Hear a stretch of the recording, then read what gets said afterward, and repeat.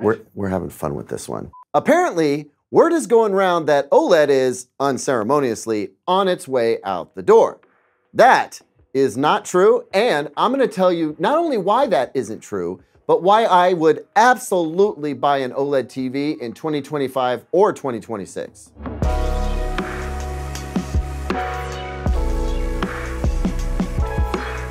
Welcome back to Caleb Rated, everyone. I'm Caleb, and if it seems like I'm a little taller today, it's because I'm on a soapbox again. This time about OLED TVs and the promulgation of the rumor that they are on death's door. Let me assure you, nothing could be further from the truth. I don't know who started it, but I'm going to end it. Honestly, it's not a hard conclusion for an enthusiast to draw. And enthusiasts like to shout their opinions out in forums, and the comment section of videos. I can see it happening. Also, journalists so far aren't helping with their clickbaity headlines for articles that often go unread by the folks who just see the headline and then turn around and, well, shout it out loud in forums and comment sections. You know what? I guess I do know how this probably got started. Anyway, it's understandable why folks might think that, but it's not true. And I'm excited to tell you why. Not only because I'm excited about the topic, but because I am going off script, baby. Off the dome. Also, we're getting a little bit moody with the lighting. What do you think? You like it? Let me know down in the comments. Uh, well, let Zeke know. But yeah, we're raw dogging this one. No safety net. I'm excited about that too. You know who isn't excited? Who's not excited, Zeke? I guess Zeke is not as excited as I am. And that is because he knows he's gonna have to work extra hard in the edit to keep me from sounding like a doofus. Also, coming up with relevant B-roll for this one is gonna be hard because we haven't reviewed an OLED yet since launching this channel, which will change soon, but not soon enough to help Zeke. But you know what? I've got an idea that will help on both of those concerns. One, I'm just gonna suck less than normal. Okay, Zeke? And number two, I think we can all agree, you and I, viewers, that it would be hilarious and totally fine to just use a bunch of cheesy stock B-roll of people watching TV. Like, the cheesier, the better. I think I can safely assume that you'll be okay with that, right, guys? So, how's that sound, Zeke? You excited now? Oh, yeah. All right, so we fixed it. We fixed it. Okay, we're doing this. So let's start out with why it's understandable that this rumor may have started and why I'm seeing these questions that I am in my inbox. Um, why OLED TVs are on borrow time, even though there's no immediate concern. Then we'll talk about what's not wrong with OLED and also why they aren't going anywhere anytime soon. And then maybe at the end, we'll talk about what my punishment will be in a couple of years in the very unlikely event that I'm wrong. I'm not. Okay, so let's start with what's kind of wrong with OLED. Well, they are expensive to make and they will stay expensive to make unless there's a killer breakthrough in OLED printing technology whether blue OLED happens or not. Because they are difficult and expensive to make, that means they are exponentially more expensive than LCD-based TVs as you go up in size. So an 83-inch OLED is really gonna test the limits on die-hard TV fans, and anything larger than that is both hard to come by and ridiculously pricey. Now, we hear all the time, at least us journalists do, that large format screens larger and larger and larger, are selling in higher and higher numbers. So if OLED can't keep up with the screen size craze, then certainly it's gonna crash and burn, right? No, not right, and I'll explain why in a moment. OLEDs are also not going to get any brighter, right? Well, not necessarily. It may seem like OLED is at the end of its innovation road, but we thought that a couple of years ago, and look at all the progress that's been made since then the LG G4 and the LG G5, crazy bright. And I bet they could probably squeeze a little more out. Okay, so then how about the fact that RGB, mini LED, and micro RGB backlighting gets LCD TVs to OLED-like performance levels while being way, way brighter, both in whites and colors. And soon enough, those could be cheaper to make than OLEDs. Well, there's a lot to all of that, but again, I'm gonna say no. Okay, Caleb, well, what about the idea that because OLED TVs aren't coming down in price very quickly, um, brands are gonna abandon them because they just aren't selling enough of them? I don't think that's a real reason either. So instead of poo pooing everything, let me actually reframe each of those ideas for you. And to be clear, I'm not making fun of anyone who thought those ideas were rational. They actually totally are, but they don't lead to OLED's death, right? Because there are other factors at play here that are just not being considered because they're not super obvious. Hey guys, not doing an ad, but I do want to take a break to share an exciting announcement. Now, this is for the entire consumer electronics industry, but I wanted you to hear it first. And the reason behind this decision is just as important as the decision itself, so stick with me for a second. First, I'm excited to announce that I am formally partnering up with CE Critic. Now, in the coming weeks, the details around that uh, and what that partnership will involve are going to be revealed. But what I can tell you now is that not only do we plan to bring unmatched value to folks shopping for all kinds of tech, especially home entertainment tech, but we intend to be an industry force to be reckoned with. A force for good, to be clear. Now, if you're not familiar with CE Critic, you will be soon. Um, think of it as the rotten tomatoes of tech reviews. For example, if you want to see the average score for a TV across a range of trusted reviewers and publications, you go to CE Critic.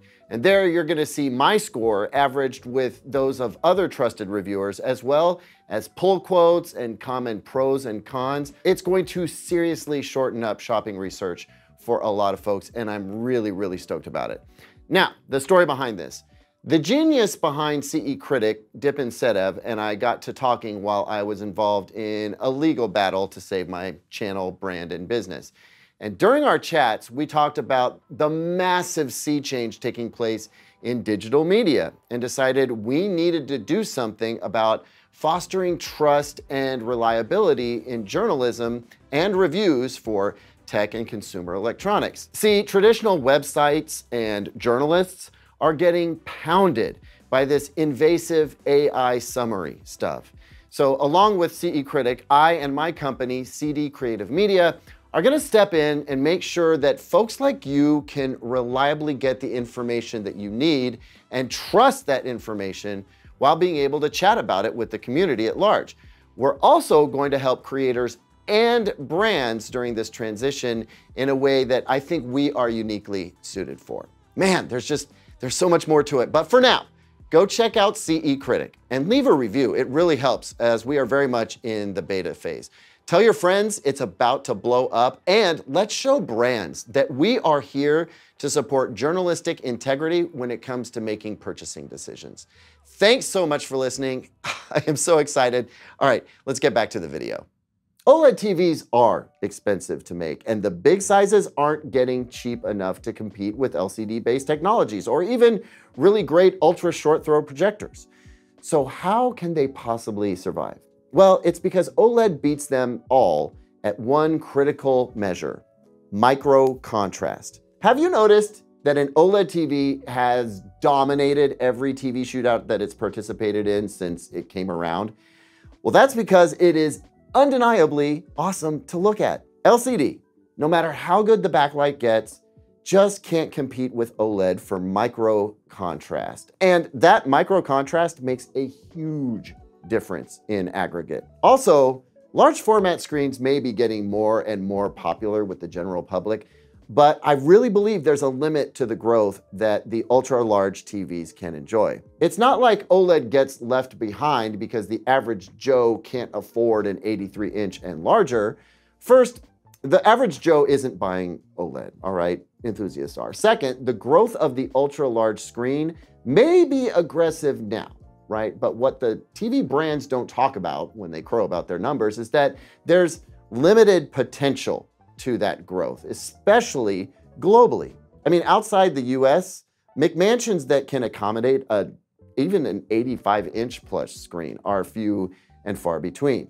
Now, here in the US, they are more popular, but there's still a limit to them. And at a certain point, folks don't want the focal point of their entire home to be their TV screen. They tell me this all the time.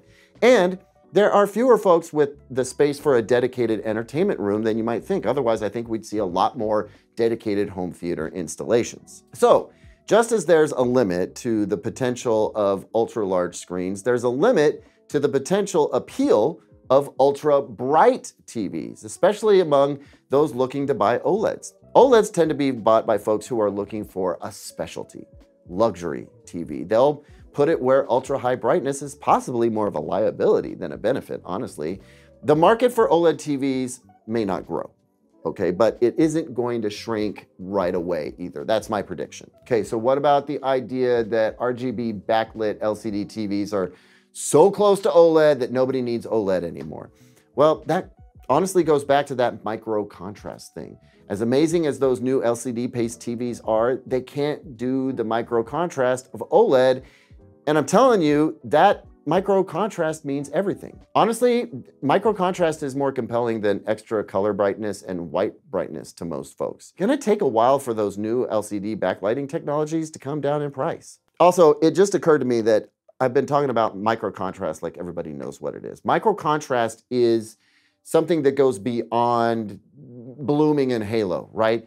It's the pixel to pixel black level. It's the space in between the pixels that can be totally black that makes a huge difference when you look at the screen in total or aggregate, like I said before. Anyway, speaking of coming down in price, what about the fact that OLED TVs aren't getting cheaper? Yeah, that is frustrating, especially for those of us who want OLED but can't really afford it right now anyway. Well, OLED at the end of the day is an enthusiast TV. And I think that if folks, enthusiasts, want it bad enough, they'll wait until they've saved up enough to get it. Many of you have and will. Now, with all of that said, is OLED meant to be the end all be all display technology? Absolutely not. But so long as it does something so awesome that nothing else can do, I don't think it's going anywhere. And we're just talking about consumer desire so far. Don't forget that a lot of professionals love OLED. Also, that's right, I'm not done yet. OLED works great in phones and tablets and other displays. Those smaller OLED screens are cut from the same glass that makes our TVs. You can't really kill one without killing all the others. Also, also, a lot of money, I can't even imagine how much money, has been spent on making OLED manufacturing plants. LG Display and Samsung Display are gonna wanna get their money's worth out of those huge bills, especially Samsung, which shunned OLED for a long time and then only recently jumped in. They are for sure going to persevere. Samsung does not give up easily. I mean, they still make 8K TVs, right? I rest my case. So there you go. OLED TVs aren't going anywhere anytime soon. And even if they do, that doesn't mean owning one is a bad idea. They'll still get supported via software updates for a while. I mean, guys, remember, being discontinued didn't do anything to tamp down the enthusiasm for plasma and it's not gonna steal any of OLED's appeal either. Thanks so much for watching everyone. What's your take on OLED and its lifespan? Let me know down in the comments, like, subscribe, ring the notification bell, and hit that hype button. I'll see you on the next one, and until then, take care. Maybe buy an OLED. Work extra hard in the edit to keep me from sounding like adusive. Adusive? What the f is adusive?